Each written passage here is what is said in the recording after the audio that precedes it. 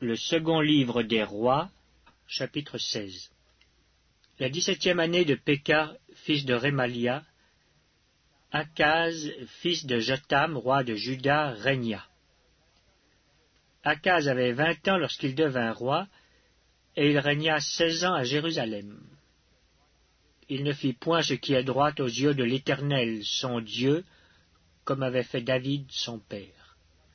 Il marcha dans la voie des rois d'Israël, et même il fit passer son fils par le feu, suivant les abominations des nations que l'Éternel avait chassées devant les enfants d'Israël.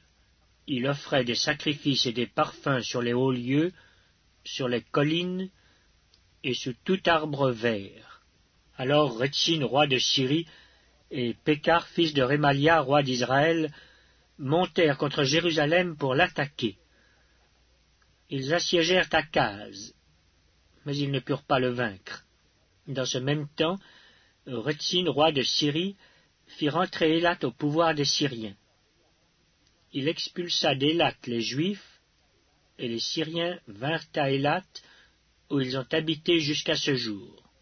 Akaz envoya des messagers à Tiglath-Pileser, roi d'Assyrie, pour lui dire Je suis ton serviteur et ton fils monte, et délivre-moi de la main du roi de Syrie et de la main du roi d'Israël qui s'élève contre moi.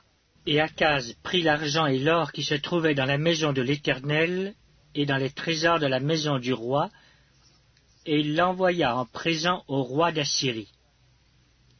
Le roi d'Assyrie l'écouta, il monta contre Damas, la prit, emmena les habitants en captivité à Kyr, et fit mourir Retsin.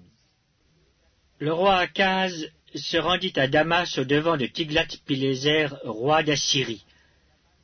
Et, ayant vu l'autel qui était à Damas, le roi Akaz envoya au sacrificateur Uri euh, le modèle et la forme exacte de cet autel.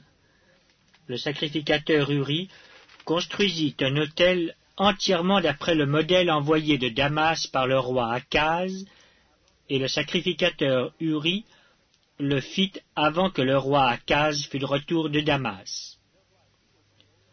À son arrivée de Damas, le roi vit l'autel, s'en approcha et y monta. Il fit brûler son holocauste et son offrande, versa ses libations et répandit sur l'autel le sang de ses sacrifices d'action de grâce.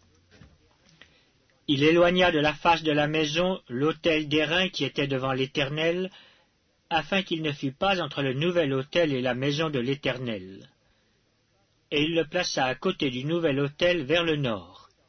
Et le roi Akaz donna cet ordre au sacrificateur Uri, Fais brûler sur le grand autel l'holocauste du matin et l'offrande du soir, l'holocauste du roi et son offrande, les holocaustes de tout le peuple du pays et leurs offrandes.